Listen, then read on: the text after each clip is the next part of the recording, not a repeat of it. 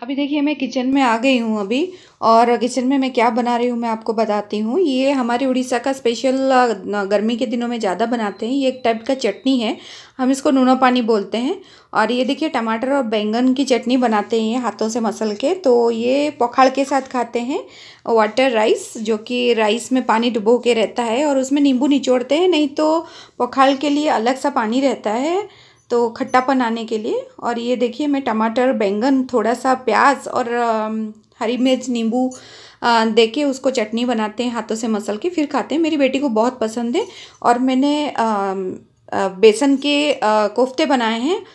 Then मैंने शिमला मिर्च की भाजी भी बनाई है, सुबह हस्बैंड लेके गए ऑफ़िस। तो गुड्डू को पर यही चाहिए होता है। तो फिर ये बनाना पड़ा आज मुझे। तो देखिए, गुड्डू बैठ के खा रही है, आराम से, और टीवी देख के खा रही है, उसको बहुत ही पसंद है ये। गुड आफ्टरनून अभी अभी दो बज गए हैं और अभी गुड्डू को मैंने खाना दिया है। गुड्डू खा रही है और अभी मैं भी खाऊँगी। तो अभी रोटी बनाने जा रही हूँ। रोटी बनाने के बाद और मैं खाने के बाद फिर आपके साथ बात करती हूँ। हेलो अभी खाना भी हो चुका है। गुड्डी का और मेरा खाना ख़त्म हो चुका है। अभी लंच करके जस्ट हम अभी आए और इधर बैठी हूँ, थोड़ा देख रही हूँ।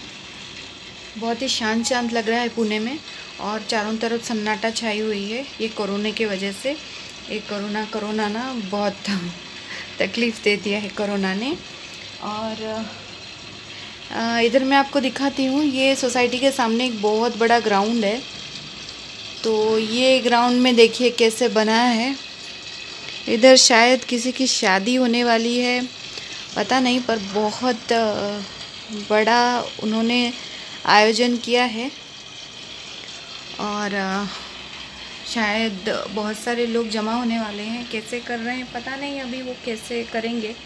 पर बहुत ही सुंदर वो बना रहे हैं। तो मुझे बहुत अच्छा लग रहा है। तो सोच रही हूँ कि थोड़ा दोपहर को जाऊँ ये चार पाँच बजे जाके ना शाम को थोड़ा फ़ोटो उठा के आती मुझे फ़ोटो उठाने का बहुत ही शौक़ है। तो सोच रही हूँ उधर जाऊँ और थोड़ा फ़ोटो उठा के आती हूँ। उधर क्या क्या क्या चालू है देख के। तो ऐसा है। आई होप आप लोगों का खाना भी हो चुका होगा।